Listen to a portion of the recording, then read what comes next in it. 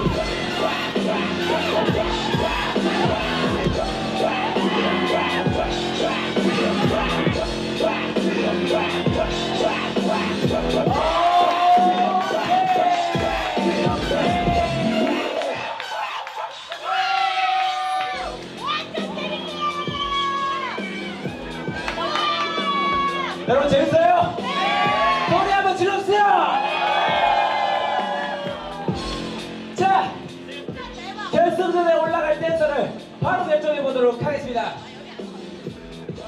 아, 지금 고민이 되게 많다. 지금 저지분들이 고민이 되게 많네요.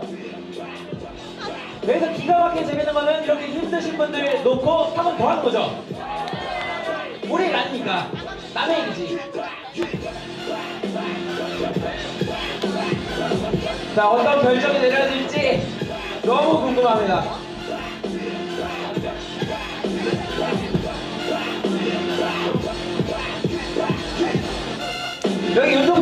해주세요.